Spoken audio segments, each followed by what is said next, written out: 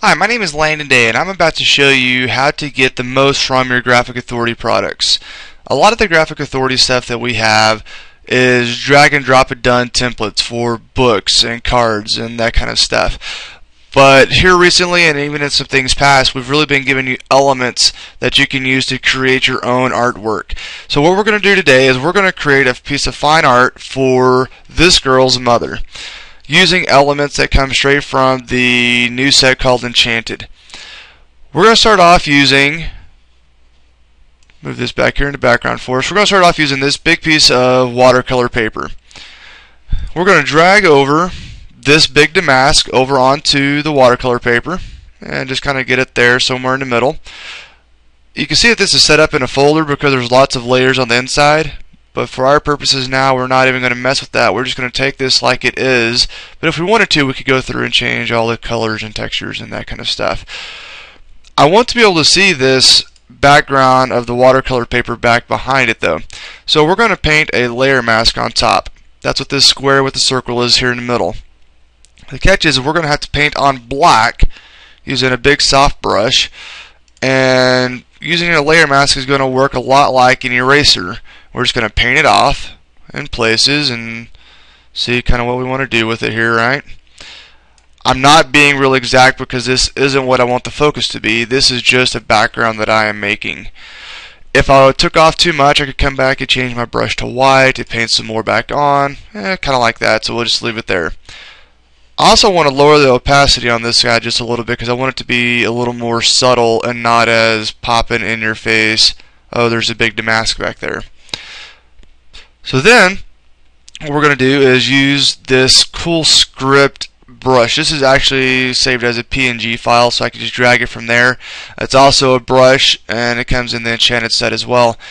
The text is fairly gibberish with some real, I don't know, we'll say sloppy script writing, dated uh, 1977 or something. It's not the point. The point is that it's just going to be a decoration element. Um, I typically crop off the name because I know this girl's name is not Nettie or Netilly, ne, something.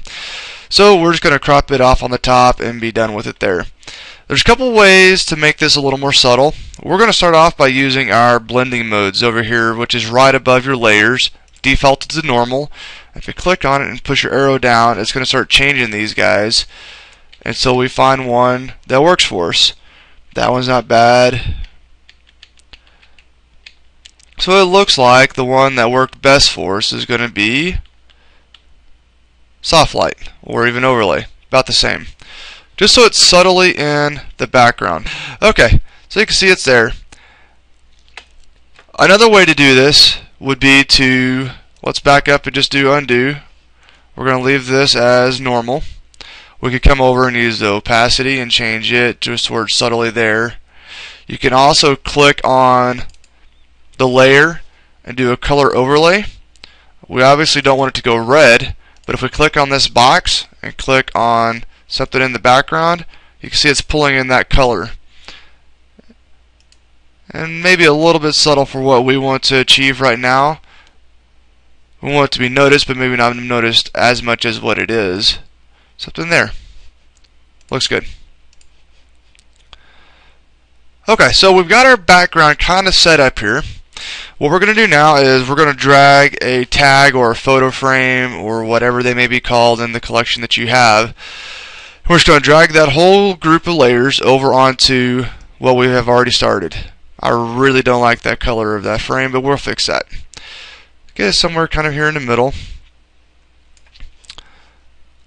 The beauty about how the frames and tags are set up in Graphic Authority, they're in this folder already set up for you with a clipping mask already created.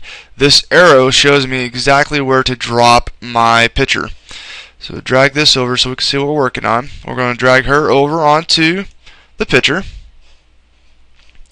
And if we drag it right under that layer, right under the arrow, blink that, it is now in part of this frame.